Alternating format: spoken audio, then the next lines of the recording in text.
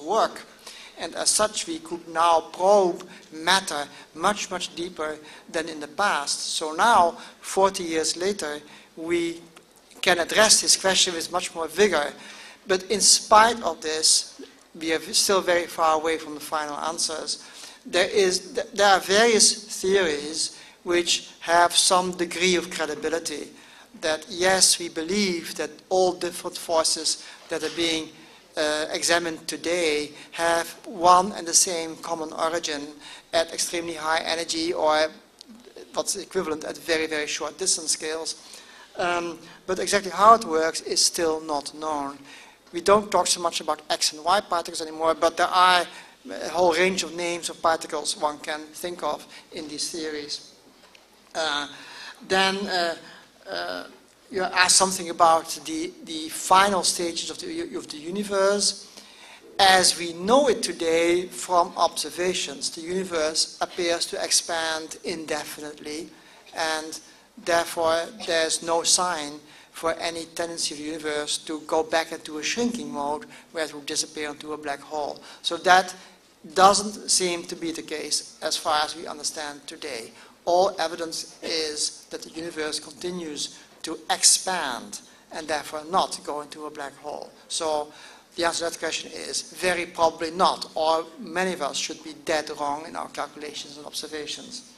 Um, uh, yeah, there was a question about life, um, but I forgot what actually the question was. Um, uh, well, well, the one question is whether life can be included in our scientific research? Of course it can. There is a lot of biological research on life today. Very different what it was uh, when I grew up and when I was studying biology. I thought biology was a very difficult science because it didn't explain anything. And uh, it just described things that happen, but didn't really explain them. And the laws that they were trying to explain to me was the laws of evolution, which I could not understand. Now, this has changed enormously with advances in understanding in biology, in particular the DNA molecules. We now understand at a molecular level what is actually happening when life forms evolve and differentiate. Not all of it is understood, far from it, but at least we now have some idea about how all this can come about, how evolution actually fits with the other forms of science, in particular with science of physics and chemistry and mathematics. It's not a different science. All these sciences are very strongly connected into one worldview about how things take place. So that includes, in particular, the origin and the evolution of life. Um, again, Many answers are still not there. Uh, science is, is only at the beginning. You asked you know, how many percentage of, of, of, of, of our understanding now uh, is, is, answering the question, and I, I, can only say, well, you can't give an answer to that except saying it's very small. There are still a lot, a lot of, of misunderstanding and things which we are very puzzled about, which are left for the future to investigate it's not obvious that humanity will ever find all the answers to all questions. In fact, quite likely we'll never find all answers to all questions, but there's an enormous future ahead of us. We can proceed much, much further than we can do now. And as one of our messages of this talk is that I want all nations of the entire planet, all people of the planet who have the opportunity and the wish to become scientists should be allowed to do so and to participate. And uh, in fact, it's very important piece of message here also, which I haven't yet mentioned, is that you don't have to be a Nobel laureate to, to um, contribute uh, in an essential way to science. If you look at all of science in this world, and you ask which percentage of that science has been actually discovered by Nobel laureates, it's practically zero. It's a very, very small percentage all the other scientific facts that in all the textbooks today have been discovered by scientists who did not never reach the status of Nobel laureate, but who made small but essential contributions, who wrote textbooks, who put uh, order in our knowledge, who uh, who distribute knowledge to other people. All these people have made essential contributions, but were not rewarded by Stockholm. So, um, and, but in spite of that, there's still enormous future in front of us that, that still has to be, um, uh, wh where we expect, have enormously high expectations of further improvement. You're asking something about the Malaysian constitution. Unfortunately, there I'm certainly not an expert. I'm only an expert on the constitution on this very small asteroid in heaven. And I think all lawyers will laugh at my institution because it is a joke, it is not meant seriously. So I'm afraid. But um, I believe you when you say that there are articles, like in any nations, we always have situations where we don't agree. I mean, uh, this would, be, would not be our world if there would have been no disagreements. Disagreement itself is fine. It's, it is a cause for discussion. And we discuss at length about it. Only if, if um, certain articles are being maintained by force rather than by argument, by discussion, then there's a problem. So if you have a problem with, with things that exist in the political system of your country, you should try to, to bring this, these topics on in discussion. And this should be in the newspapers, in the other media, or uh, somehow you should have your voice heard and argue and dispute. And I think only by uh, trying to reach agreement and by seriously doing that, you might be able to have to, to realize the changes in the direction that you think uh, is fit. But if nobody else in this country agrees with you, then I don't think there's much chance that you'll succeed. And um, so in, indeed you ask about uh, agencies being able to establish peace. Well, we've heard it over and over again how difficult that is. And actually, I emphasize, I started my talk by saying that people are different, nations are different. And in particular, the interests of nations and the interests of people are very often in conflict. Think of, of conflicts about water, about border disputes, uh, uh, conflict between people, who gets a higher income than who else, uh, uh how do you establish these things? There are always conflicts of interest. So conflicts of interest are there, and so therefore there should be negotiations among people. But negotiations themselves could be done in a peaceful manner. When a war breaks out, then something has gone wrong with these negotiations in, in a way which many of us find unacceptable. If you go to war to get uh, your will established, if, if it can't be done in a peaceful way, you've made the wrong decision. And I think many of us agree with that um, that discussion is the way.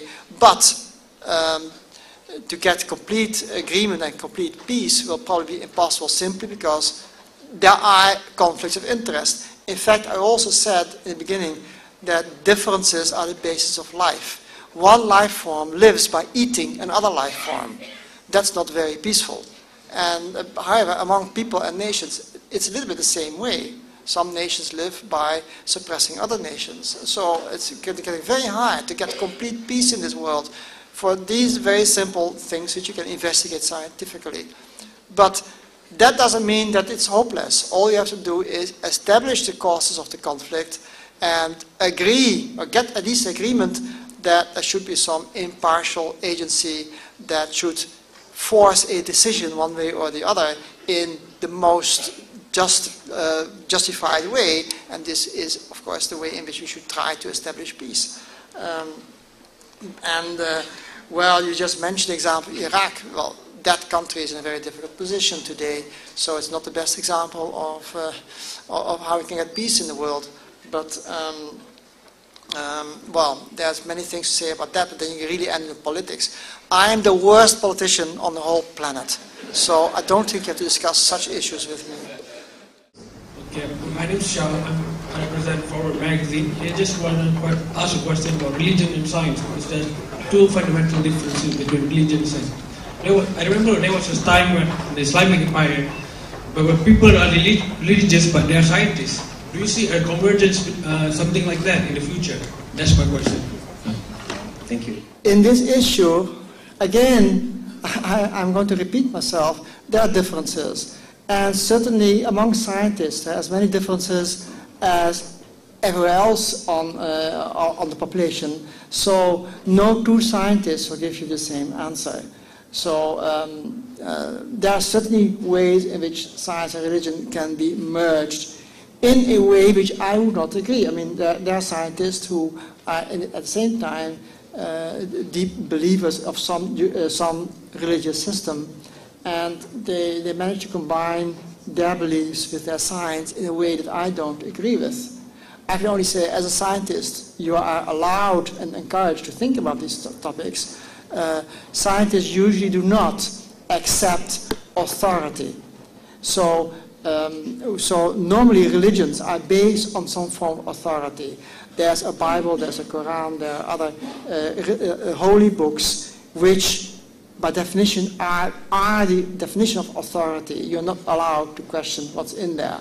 This is not the way a scientist acts. A scientist doesn't even accept authority of Einstein. Absolutely not. Einstein indeed did make mistakes. And so did all the other great scientists. I, certainly made mistakes myself, if that, comes to a question. So uh, we all make mistakes, and so none of us has absolute authority.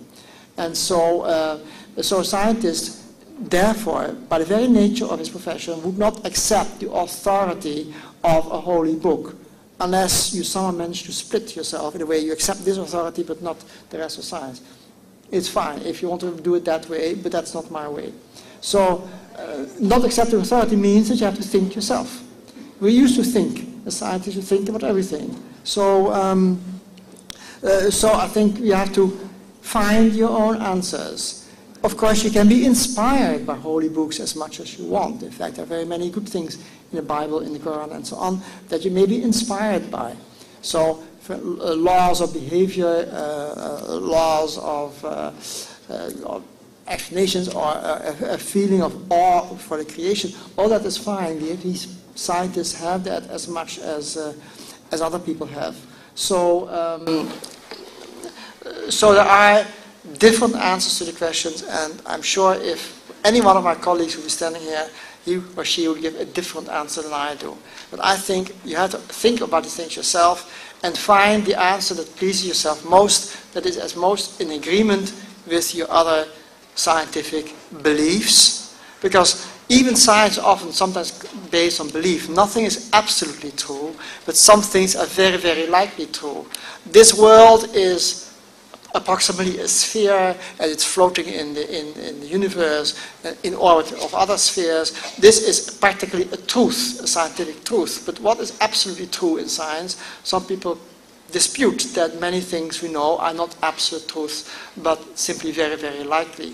So, uh, extrapolating this, there are many, many things about this world that we scientists say, these are so likely to be true, I accept this as my belief system, as a truth.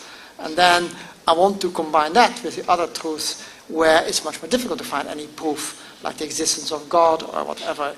And um, then you add that to your belief system in such a way that there's no conflict with anything you find in, in your uh, uh, scientific research. Uh, now, with the advancement of computer and information technology, the knowledge and information can travel the world at the speed of light. Yes.